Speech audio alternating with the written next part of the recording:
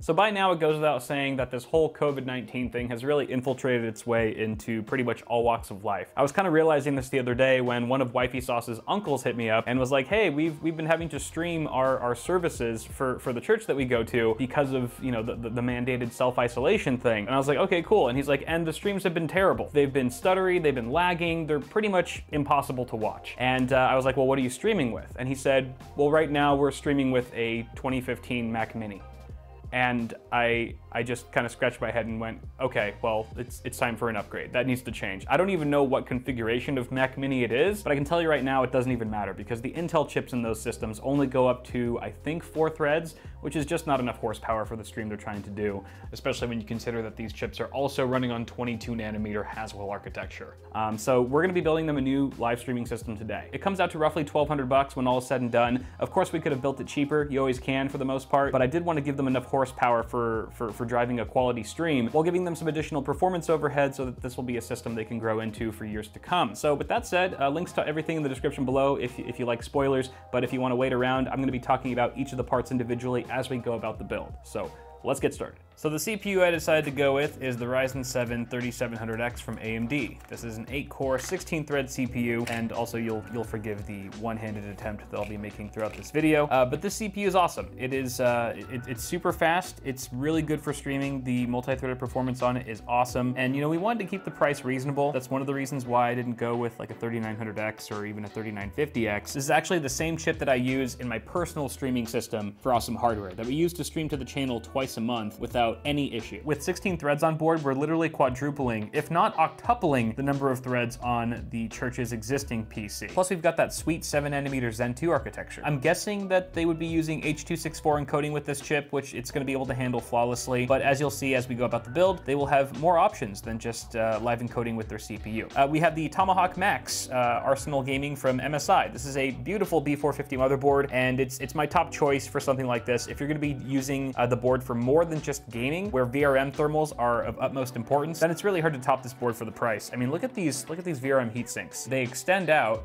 right? So they extend out from here, kind of hard to see because it's so thin, but they extend all the way out for additional surface area. There's like slats of them as well for more surface area. So they're really good at dissipating heat. I also like this board because it has a pretty hefty IO on the back. We've got two USB 3.2 Gen 2 ports, one type A and one type C. We have four DIMM slots for our memory. And the memory we'll be using is Corsair's Vengeance LPX DDR4 3600 speed. It'll be fooled by the, the red DIMM on the box. These are actually the, the black models, as you can see right there. Usually when I'm, when I'm building a system like this for a client and there's no specific requests for memory, I like to go with a low profile kit because it just offers more flexibility. You don't know if the client's gonna upgrade their cooler down the line. And this kind of just ensures utmost compatibility because of the lower clearance uh, heat sinks or heat spreaders that are on these things. Plus these are just overall really good performing DIMMs. So we've got our eight core, 16 thread CPU, 16 gigabytes of dual channel memory, and our beefy heatsink B450 motherboard. What's next? Ah yes, our case, of course, how could I forget? For our case, we have the NZXT H510i. This is a really nice, compact, mid-tower case for an ATX motherboard. I think this case kind of ticks all the boxes. It has full-size hardware support. We are gonna be occupying multiple PCI Express uh, by 16 slots on this board, so I wanted to make sure that we had a motherboard and a case that could accommodate that. It also comes included with two fans, which is nice. Let me, let me take this side panel off really quick. I also love how easy these side panels are to remove. One screw, NZXT is doing it right. But we've got two included Aer F 120 millimeter fans that are pre-installed at the rear for exhaust, and the front is completely blank, but that's actually fine because we'll be installing the liquid AIO as you'll see in a moment. Uh, overall though, very smart, nice, tried and true internal layout here, smart cable management. Quick shout out to NZXT for providing this case as well as some of the other parts that we'll be using in this build. Uh, it's kind of funny, I initially requested the H510 non-I, but I think they didn't have it in stock, so they sent me the I version, which has the integrated RGB strips. So we're, we're getting some bling here. Hopefully the church doesn't mind bling. Of course, they could always disable it if they need to, but uh, the thought of walking into a random church and seeing a PC with RGB lighting in it just kind of makes me chuckle. Now, usually before I install the motherboard inside the case, I'll mount the CPU cooler first. So for that, we have the Kraken X53, also from NZXT. This is a very nice, very lovely 240 millimeter liquid AIO, and it's got the new rotatable water block, so you can kind of orient the NZXT logo any which way. We probably won't be utilizing that much since we have a more uh, orthodox uh, configuration here, but it is nice to have, especially if you're building in a case with like a rotated motherboard layout. But this is a very high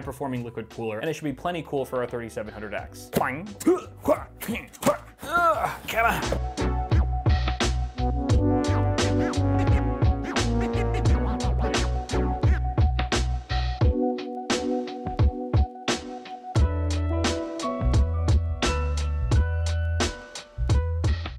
power supply is the NZXT C650 watt ATX unit. Now this is actually a little bit more wattage than we really need, but I wanted to give them some overhead like I mentioned earlier. So if they did want to drop in some higher, uh, higher end or higher TDP components down the line a few years from now, they're gonna have more than enough headroom for that. It looks like a matte black finish, very minimalistic. I've actually never used this unit before, so kind of curious to see how it goes. Looks like we've got an 80 plus gold badge here. Nice to see that high efficiency. Some black sleeve cables, that's always handy, and what looks to be a fully modular design. I'll probably end up plugging in some more cables than we really need anyway, just so that they're pre-wired in case they want to upgrade or expand things down the line. It'll make it a bit easier. This looks to be a zero RPM fan button, so if you want to go full silent operation, you can very well do that. Let's get this thing installed.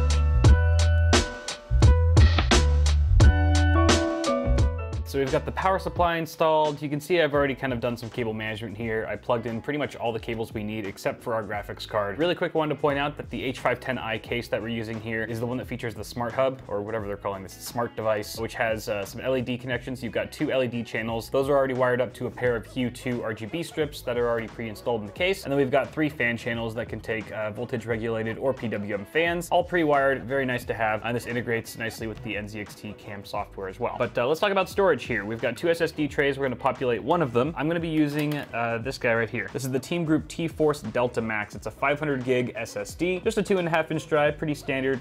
Uh, SATA Rev 3, no fancy NVMe stuff here today, but you know what? Six gigabit per second is gonna be plenty fast for uh, the needs of this system. And they can always add more drives to the system very easily down the line. All right, did I mount this correctly? Yes, yes I did. Back on you go.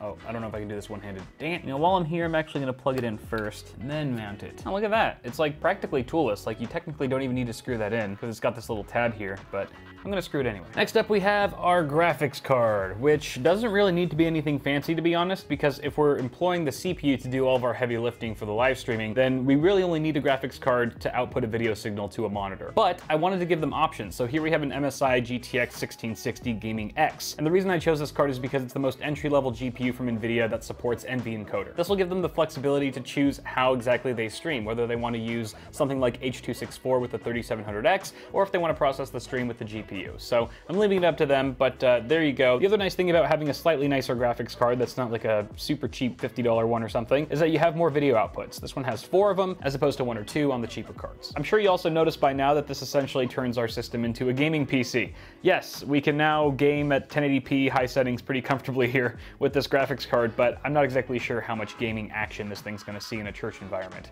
But who knows? I'm liking how this is turning out though so far. I mean, just aesthetically, very matte black. Oh, Okay. Where's where's the graphics card? GPU, where are you? There you are. Let's go. All right, down you go. All right. One-handed broskies. One-hander. Oh yeah! That's a strong thumb. Okay, and we gotta remount this little back panel here, which also has two slots for uh, vertical GPU mounting. Although there's no riser cable included, that's purchased separately. I do have one on hand that I could spare for the build, but I'd rather keep the GPU fans further away from the tempered glass side panel. Come on, you piece of... Plug it in, plug it in. All right, with our graphics card installed, we have one more final part to go, which is our capture card. This is the Elgato 4K 60 Pro. It is awesome. I use one, here, look, there's one right here. There it is. It's in my personal system right there that I use for awesome hardware. Uh, it works beautifully, straight to the point, virtually plug and play. You just got to install drivers. To quote Jensen, it just works. It, it really does just work. Uh, I think the uh, the church is currently using like a Blackmagic Intensity shuttle, um, which I've never used personally, but the thing's like almost a decade old now, if not older. And from my experience, I've used Blackmagic capture cards extensively, and they are just not quite as user-friendly as these Elgato products, especially the new ones that uh, that have been coming out since uh, Corsair bought them a couple years back. They've just been really good, really reliable units. Aptly named, this supports up to a 4K 60 FPS signal, but I believe they're only streaming uh, 1080p 60 because that's all their camera currently supports. Down the line though, if they ever did want to try their hand at 4K 60 FPS streaming, they could attempt to do that with this card. And when that day comes, God be with them. Surprised I haven't cut myself doing this yet. Watch, I'm gonna do it just because I said that. Totally jinxed it. Actually, you already know that I didn't do it because if I did, it would totally be in the thumbnail. There we go. There she is. Ah, ain't she a beauty? Yeah, I don't know why I put this back on. I'm stupid. All right, here we go. El gato. All right, moment of truth. Let's fire this guy up. Please turn on. Hey, oh, sorry, totally forgot to remove this. There we go. Voila. Yes. Ooh, baby, look at that. This is a this is a church PC, boys. It's almost it's almost too sexy for church. Can I get a video sig? Por favor. Give me that video signal. Where you at? Where you at? Come on. I probably have to reboot. There we go. All right, sweet. Now we are ready for Windows. Oh, I forgot I already installed Windows on this thing like months ago. I think, is it a clean install? Do I have anything on here? Doesn't matter, you guys don't care. But you do probably care about seeing this thing in action, maybe. You wanna see it in action? Let's give it a little test run, shall we? All right, peeps, our test stream is now live. We're streaming to YouTube right now at 1080p, 60 frames per second with a bitrate of 10,000 kilobits per second, and we're using the H.264 encoder on our Ryzen 7 3700X. How's it look?